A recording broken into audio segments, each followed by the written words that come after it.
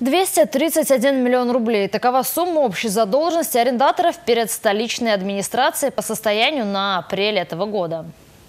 Три тысячи заключенных договоров и почти у половины арендаторов проблемы с оплатой. Среди них чулочно-трикотажная фабрика, производственное объединение имени Чапаева, корпорация «Энергетик». В столице работают специальные комиссии, уже направлено 245 претензий. С начала года удалось уменьшить общую задолженность на 7 миллионов рублей. Эту работу держать на ежедневном личном контроле не должно быть ни одного арендатора-должника, по которому бы не велась своевременная претензионная исковая работа.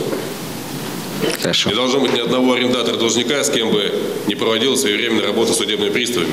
Особая ситуация сложилась в коммунальных технологиях. Предприятие накопило долги на сумму более 1 миллиарда рублей. Из них 850 миллионов за газ. Столичная администрация вынуждена принимать нелегкие для себя решения.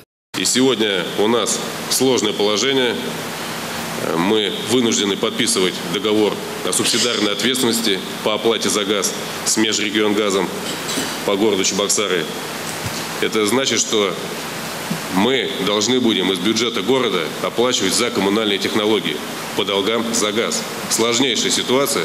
В большей степени от этой проблемы страдают у жителей города. Тепло, конечно, им в течение отопительного сезона никто не отключал. Но вот ремонт теплосетей выполнен из-за отсутствия средств всего на 20-30%. Руководителя коммунальных технологий свой взгляд на причину появления такой долговой ямы. Тарифную службу в прошлом году подтверждала, что рост нужен, должен был быть 23,6, а дали 4,4. Это же очевидно.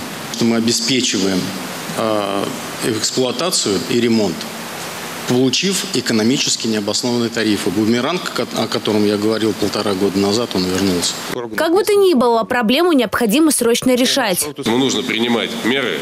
Я прошу Георгия Геннадьевича и Юрия Александровича рассмотреть вопрос, который мы уже обсуждали, о продаже права аренды с коммунальными технологиями на имущественный комплекс. То есть вполне возможно, что все обязательства по обслуживанию теплосетей могут перейти от коммунальных технологий к другой организации. Татьяна Леонтьева, Игорь Зверев, Республика.